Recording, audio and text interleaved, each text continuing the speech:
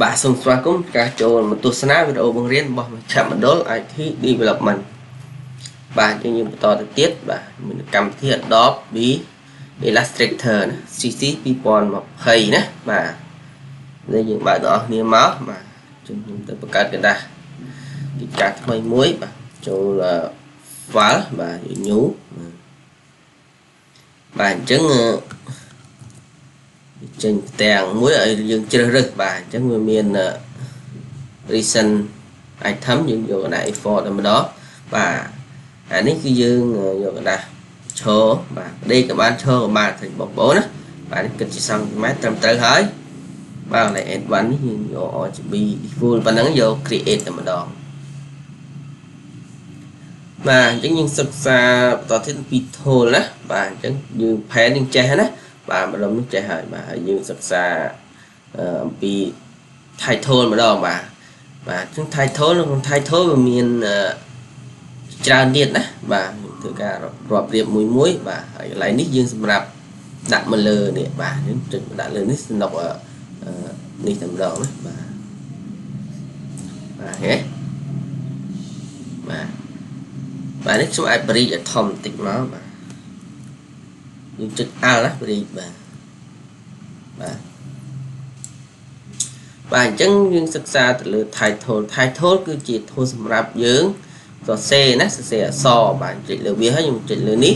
បាទឡោះមួយទៅបាទហើយយើងអាចអានេះយើងដាក់ពណ៌អក្សរបាទណាពណ៌អក្សរវាចែកចេញតៃនឹងសុំអក្សរបាទនេះថាកែមខាងខាងណាឥឡូវខ្ញុំទៅសេសិនដើម្បីឲ្យ អឺបងប្អូនក៏កាន់តែយល់បាទឥឡូវនេះយើងអាចលុបបាទយើង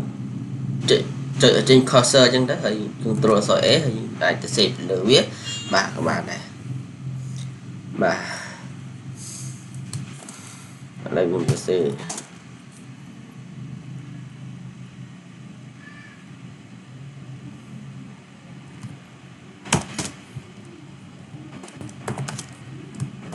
បាទ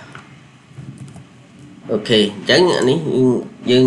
ធ្វើការអឺលឺយើងដាក់ cursor យើងចុច control A មកហើយយើងធ្វើការបរិចទំហំគឺយើងនេះកន្លែងនេះណាបាទនេះ character នេះក៏បានដែរឬក៏ឬក៏នេះក៏បាន character វាមានជំរើសច្រើនបាទច្រើនច្រើនយ៉ាងនេះប៉ុន្តែវាដាក់ខាងលើដែរ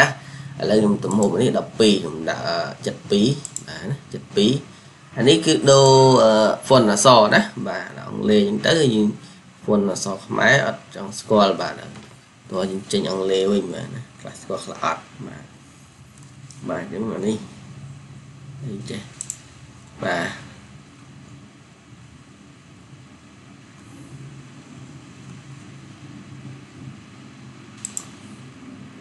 បាទយកនេះមកយកបាទបាទហើយកន្លែងនេះ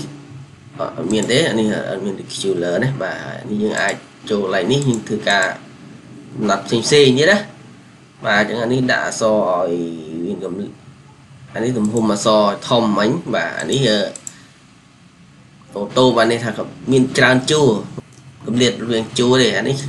កម្រិតអក្សរណាបាទជួយស្ដាំបាទនេះអូតូអានេះអីគេបាទចាអានេះវាវែងខ្លីណាបាទវែងខ្លីតាមនេះទៅណាបាទនេះដាក់ទៅដល់ពេលនេះ អានេះអឺវិញស្ដាំណាបាទវិញស្ដាំវាពួយយើងតាមនឹងទៅដឹងមកអាចតេស្តបាទបាទដល់ពេលនេះអានេះវាបាទឡើងលើចុះក្រោមដែរណាបាទឲ្យឡើងលើចុះក្រោមនេះមើលតាមនឹងទៅយើងឆ្លាញ់មួយណាដាក់មួយនោះទៅហើយនេះវល់ណាបាទនេះវល់វល់អសទៅជាមួយអសមួយអសអានេះបាទដាក់0ធម្មតា trade តទៅនោះដល់ពេលនេះ trade មិនចេះវិញអញ្ចឹងទៅណាបាទ អូខេកន្លែងហ្នឹងយល់កន្លែងនេះអក្សរធំទាំងអស់ឧទាហរណ៍យើងទៅសេអក្សរតូចអញ្ចឹងយើងយកកន្លែងនេះទៅទៅជាធំទាំងអស់បាទឃើញទេបាទដល់ពេលកន្លែងនេះវាអក្សរដើមគឺធំប៉ុន្តែអក្សរ capital letter ដែរគាត់ថាដើមវាគឺធំតមកគឺតូចធំតូចអញ្ចឹងទៅណាបាទដោះចេញវិញអានេះយើងដាក់បៀបការ៉េអានេះយើងដាក់សន្ទុះបាទអានេះអក្សរមានឆ្នូត ក្រោមអានេះមានបន្ទាត់ក្រោមហ្នឹងទៅណាបាទអូខេហើយកន្លែងនេះគឺសម្រាប់ដាក់ដូរពណ៌បាទដូរពណ៌ផ្ទៃឧទាហរណ៍ដាក់ពណ៌ក្រហមបាទពណ៌ក្រហមនេះអានេះគឺ stroke ណាបាទ stroke នឹងដាក់ពណ៌ខៀវទៅណាបាទពណ៌នេះគឺបានណាបាទអញ្ចឹងផ្ទៃពណ៌ក្រហមបាទ stroke វាពណ៌ ពណ៌នេះវិញបាទ sorry ណាបាទឃើញទេបាទយើងមើលចេះទៅវាអត់សូវឃើញយើងដាក់ចេះអានេះកម្រាស់ stroke យើងយក stroke កាន់តែធំ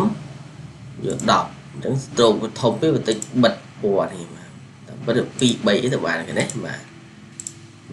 អានេះដាក់ពណ៌សបានត្រូវអូដាក់ពណ៌ខៀវមើលចាប់ឃើញបាទចេះ បាទហ៎អូខេកន្លែងហ្នឹងដូចជាយល់ហើយណាបាទហើយក៏វាមានខាងនេះដែរណាបាទខាងនេះក៏មានដែរដូរ font ដូរអីគឺមានទាំងអស់ណាបាទគឺមាននៅកន្លែងនេះដែរបាទនេះបាទនេះក៏ដូរ font ដែរបាទណាអញ្ចឹងមានច្រើនកន្លែងសម្រាប់ជ្រើសរើសណាបាទអញ្ចឹងមានច្រើនអញ្ចឹង ប៉ុន្តែមុនដូរ font យើងត្រូវ select វាសិនណាបាទហើយមាន rectangular ណាអូនេះដូរ font នេះវិញក៏បានណាស្រេចយើងស្រឡាញ់តាមចិត្តអូខេអូខេកន្លែងហ្នឹងគឺអញ្ចឹងសេធម្មតាអញ្ចឹងណាបាទហើយអានេះមើលនេះម្ដងអានេះគឺយើងទៅសេនៅក្នុងសេបអញ្ចឹងយើងតើមានសេបមួយសិនណាឧទាហរណ៍ខ្ញុំយកនេះចាស់ណាបាទ សេបនេះយើងសិក្សានៅវីដេអូក្រោយដែរណាបាទនេះអញ្ចឹងយើងយកនេះគឺយើងចាប់ដាក់ឡើងនេះតែម្ដងណាប៉ុន្តែ shape ហ្នឹងយើងសរសេរចុចឲ្យចំខ្សែផាតនេះសរសេរនៅក្នុង shape បាទបាទហ៎អានេះគឺសរសេរនៅក្នុង shape ហ្នឹងបាទហ្នឹងហើយហើយអានេះគឺយើងសរសេរនៅលើខ្សែផាតបាទឧទាហរណ៍ យើងយើងមាន shape មួយចោះអាហ្នឹងតតងទៅលើខ្សែផាតយើងអាចទៅសេគូនេះគូគូ pen tool មកបាទឥឡូវខ្ញុំលុបអានេះចោលសិនឲ្យបាទមើលវិញឥឡូវឧទាហរណ៍ខ្ញុំគួរនេះមួយបាទ